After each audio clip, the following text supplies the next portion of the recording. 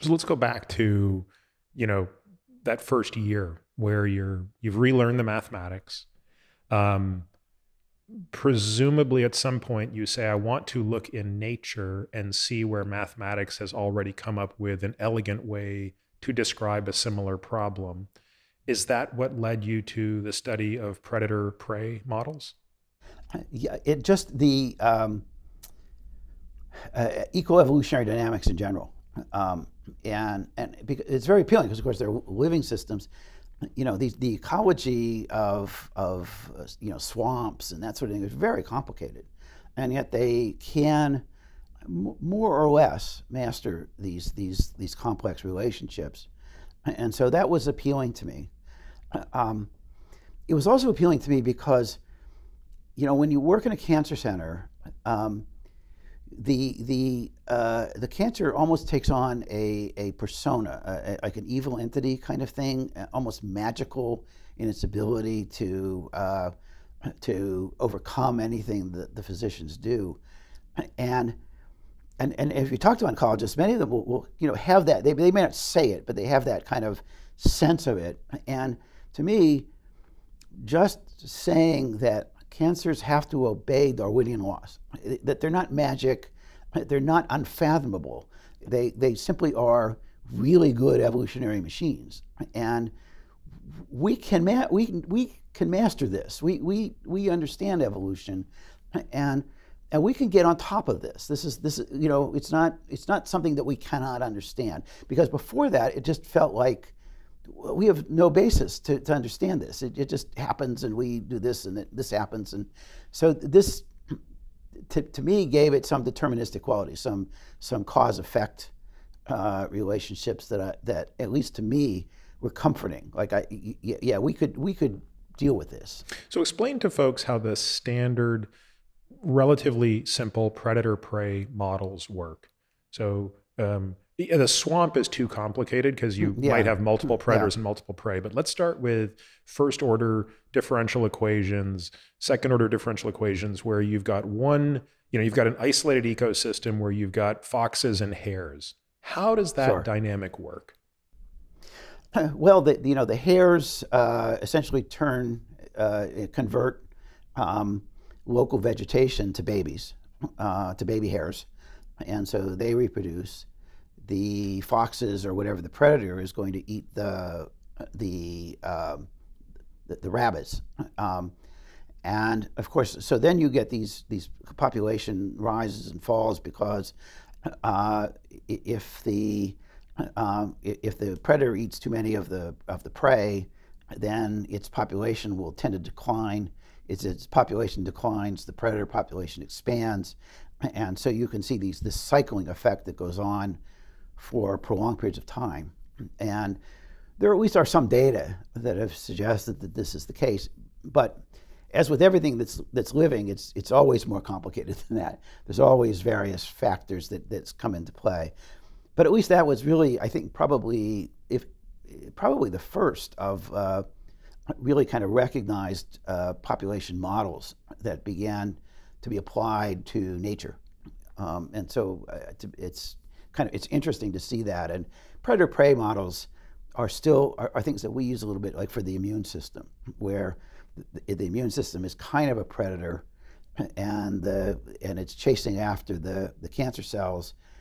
Um, but of course, there's, there's there's important differences in that. The the uh, predator eats the prey and gains you know substrate from that, whereas in in the pre, in the immune system, it kills the the, the cancer cells, but it, it loses substrate, doesn't eat them up. And in fact, if anything, if anybody's eating anything, it's probably the cancer cells are, are swooping up, uh, you know, elements of their brethren that, you know, the macromolecules that they're, are getting spilled into the environment. So, so there's, it, it, again, it's an, one of those things that's an appealing model, the predator-prey model in, in, in immunotherapy, and yet there are important distinctions that you have to recognize that, that make the biology different and in some ways can give advantages to the prey that you don't really expect.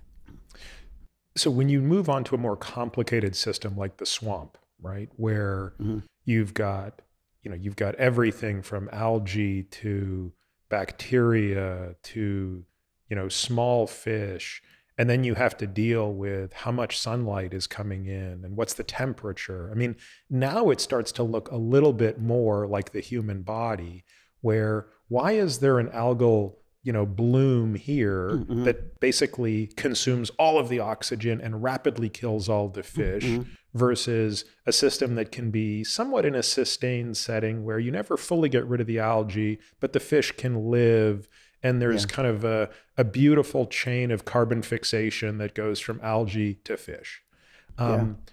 so to me like how did you get to the point where you could look at that and say we can now model this for human cancer, given that this is far more likely uh, how it behaves?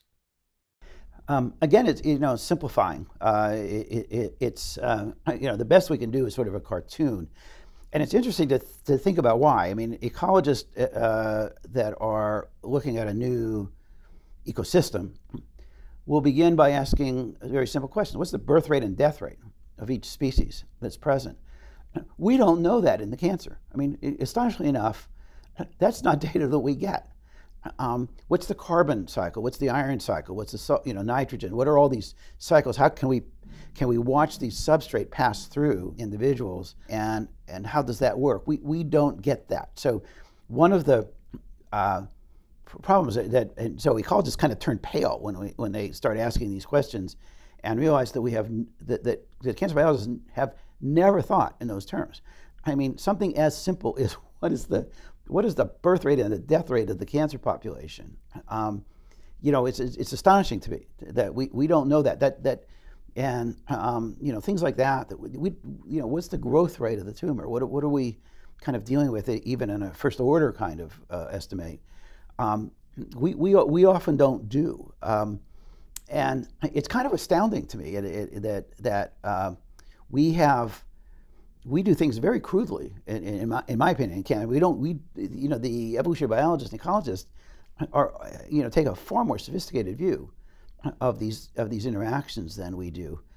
Even to the point, an interesting fact is that if you were a pesticide manufacturer, you are required by law to submit a, uh, a, a resistance management plan. You have to identify how pests become resistant to your, you know, what are the mechanisms of resistance, and how do I plan to prevent that from occurring? You can you can introduce cancer drugs. I mean, well, cancer drugs are routinely um, uh, approved without any knowledge uh, of what the resistance mechanism is, much less how you're going to manage that in a patient. Um, so again, this this odd kind of disconnect that um, in, in some ways, I think the ecologists, evolutionary biologists have have pushed ahead of us, and we're just still trying to catch up with them in terms of, of understanding, of taking their sophisticated models and, and, and applying them to, to cancer. This podcast is for general informational purposes only and does not constitute the practice of medicine, nursing, or other professional healthcare services, including the giving of medical advice. No doctor patient relationship is formed. The use of this information and the materials linked to this podcast is at the user's own risk. The content on this podcast is not intended to be a substitute for professional medical advice, diagnosis, or treatment. Users should not disregard or delay in obtaining medical advice from any medical condition they have, and they should seek the assistance of their healthcare professionals for any such conditions. Finally, I take conflicts of interest very seriously. For all of my disclosures and the companies I invest in or advise, please visit peterattiamd.com forward slash about, where I keep an up to date and active list of such companies.